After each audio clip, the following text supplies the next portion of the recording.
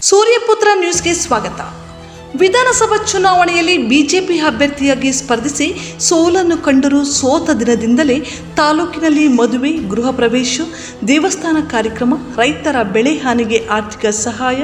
ಬಡವರ ವಿದ್ಯಾಭ್ಯಾಸ ಸೇರಿದಂತೆ ಹಲವಾರು ರೀತಿಯ ಕಷ್ಟ ಸುಖಗಳಲ್ಲಿ ಶೀಗೆಹಳ್ಳಿ ಸುಂದರ್ ಅವರು ಭಾಗಿಯಾಗುತ್ತಿರುವುದು ವಿಶೇಷ.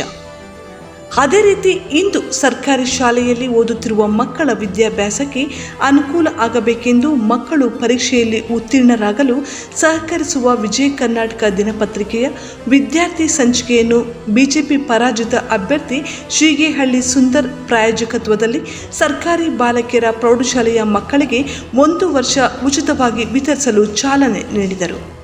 ಈ ಸಂದರ್ಭದಲ್ಲಿ ಬಿಜೆಪಿ ಮುಖಂಡ ವಿಶ್ವನಾಥ ರೆಡ್ಡಿ, ಪ್ರಕಾಶ್ ರೆಡ್ಡಿ, ಮೈಕ್ ಶಂಕರ್, ವಿಜಯ್ ಕರ್ನಾಟಕ ವರದಿಗಾರರಾದ ಪ್ರಕಾಶ್, ಸರ್ಕಾರಿ ಬಾಲಕಿಯರ ಪ್ರೌಢಶಾಲಾ ಮುಖ್ಯ ಶಿಕ್ಷಕರಾದ ಚಲಪತಿ ಸೇರಿದಂತೆ ಎಲ್ಲ ಸಿಬ್ಬಂದಿ ವರ್ಗದವರು ಹಾಜರಿದ್ದರು. ಪ್ರೌಢಶಾಲೆಯಲ್ಲಿ ನಮ್ಮ ವಿಜಯ ಕರ್ನಾಟಕ ವತಿಯಿಂದ ವಿದ್ಯಾರ್ಥಿ ಸಂಚಿಕೆ ಬಿಡುಗಡೆ ಬಿಡುಗಡೆ ಕಾರ್ಯಕ್ರಮಕ್ಕೆ ನನ್ನನ್ನು ಆಹ್ವಾನಿಸೋದಕ್ಕೆ ನಮ್ಮ ವಿಜಯ ಕರ್ನಾಟಕ ಪ್ರಕಾಶನದವರಿಗೆ ಮತ್ತು ಸಂಪಾದಕರಿಗೆ ಧನ್ಯವಾದ ಹೇಳುತ್ತಾ ಜೊತೆಯಲ್ಲಿ ನಮ್ಮ ಸರ್ಕಾರಿ ಬಾಲಕಿಯರ ಪ್ರೌಢಶಾಲೆಯಾದಂಥ ಮುಖ್ಯೋಪಾಧ್ಯಾಯರಾದಂಥ ನಮ್ಮ ಚಲಪತಿ ಸಾರ್ಗೆ ಹಾಗೂ ತಾಲೂಕು ದೈಹಿಕ ಶಿಕ್ಷಣಾಧಿಕಾರಿಯಾದಂಥ ರಮೇಶ್ ಸಾಹೇಬರಿಗೆ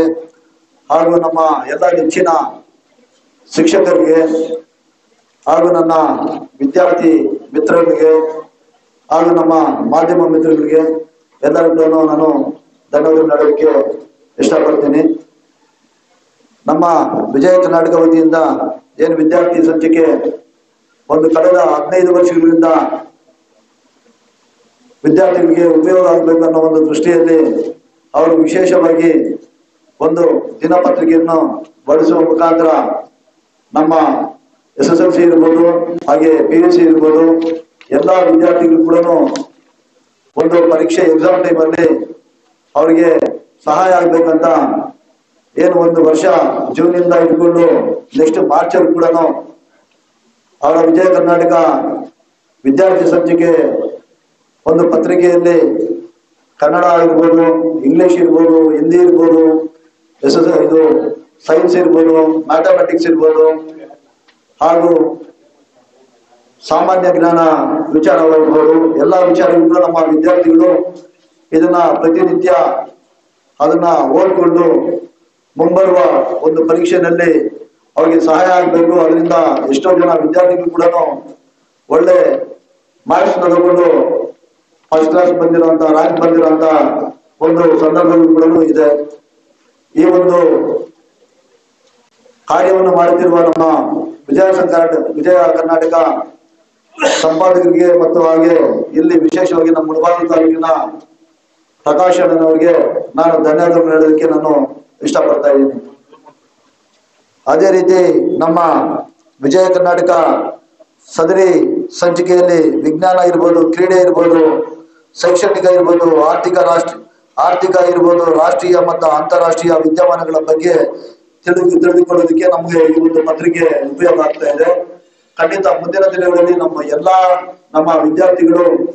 ಇದರ ಇದನ್ನ ಒಂದು ಸದುಪಯೋಗ ಮಾಡಿಕೊಂಡು ಮುಂಬರುವ ಒಂದು ಪರೀಕ್ಷೆಯಲ್ಲಿ ಎಲ್ಲರೂ ಕೂಡ ರ್ಯಾಂಕ್ ತೆಗೆಯುವ ಮುಖಾಂತರ, ಒಳ್ಳೆ ಮಾರ್ಕ್ಸ್ ತೆಗೆಯುವ ಮುಖಾಂತರ ತಾವು ಈ ಜ್ಞಾನವನ್ನು ತುಂಬಿಸ್ಕೊಬೇಕಂತ ಈ ಒಂದು ಸಂದರ್ಭ ಸಂದರ್ಭದಲ್ಲಿ ಹೇಳೋದಕ್ಕೆ ನಾನು ಇಷ್ಟಪಡ್ತೇನೆ.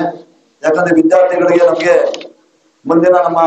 ಹೇಗೆ ರೈತರುಗಳು, ರೈತರು ನಮ್ಗೆ ಬೆನ್ನೆಲುಬಾಗಿರ್ತಾರೋ ಇವತ್ತಿನ ವಿದ್ಯಾರ್ಥಿಗಳೇ ನಾಳೆ ನಮ್ಗೆ ದೇಶದ ಒಂದು ಆಸ್ತಿ, ಅವರೇ ನಮಗೆ ದೇಶಕ್ಕೆ ಎಲ್ಲ ಒಂದು ವಿದ್ಯಾರ್ಥಿಗಳೇ, ಒಂದು ನಮ್ಗೆ ಎಲ್ಲ ನಮ್ಮ ಆಸ್ತಿ ಒಂದು ಅಂತ ಈ ಒಂದು ಸಂದರ್ಭದಲ್ಲಿ ನಾನು ಹೇಳ್ತಾ ಎಲ್ಲರೂ ಮುಂದಿನ ದಿನಗಳಲ್ಲಿ ಒಳ್ಳೇದಾಗಲಿ ಅಂತ ಈ ಒಂದು ಸಂದರ್ಭದಲ್ಲಿ ಬಯಸ್ತಾ ಎರಡು ಮಾತುಗಳನ್ನು ಮಾತಾಡಕ್ಕೆ ಅವಕಾಶ ಮಾಡಿಕೊಟ್ಟ ಎಲ್ಲ ನನ್ನ ಶಿಕ್ಷಕ ತಂಡದವರಿಗೆ ಹಾಗೂ ವಿದ್ಯಾರ್ಥಿಗಳಿಗೆ ಹಾಗೂ ವೇದಿಕೆ ಮೇಲೆ ಆಸನಾಗಿರುವ ಎಲ್ಲ ನಮ್ಮ ಪ್ರಧಾನ ಕಾರ್ಯದರ್ಶಿಗಳಾದಂತಹ ನಮ್ಮ ವಿಶ್ವನಾಥ್ ರೆಡ್ಡಿ ಅವರು ಇರ್ಬೋದು ಮತ್ತೆ ನಮ್ಮ ಮೈಕ್ ಶಂಕರಣ್ಣ ಇರ್ಬೋದು, ಆಮೇಲೆ ಎಲ್ಲ ನನ್ನ ಸ್ನೇಹಿತರು ಇರ್ಬೋದು, ಆಗ ಮುಂದೆ ನಡೆದಿರುವಂತ ಎಲ್ಲ ನಮ್ಮ ಮಾಧ್ಯಮ ಮಿತ್ರರಿಗೆ ನಾನು ವಂದಿಸುತ್ತಾ ಎರಡು ಮಾತುಗಳು ಮಾತಾಡೋಕೆ ಅವಕಾಶ ಮಾಡಿಕೊಟ್ಟ ಎಲ್ಲರೂ ಕೂಡ ವಂದಿಸುತ್ತಾ ನಾನು ಎರಡು ಮಾತುಗಳನ್ನು ಮುಗಿಸ್ತೇನೆ ಜೈ ಹಿಂದ್, ಜೈ ಕರ್ನಾಟಕ.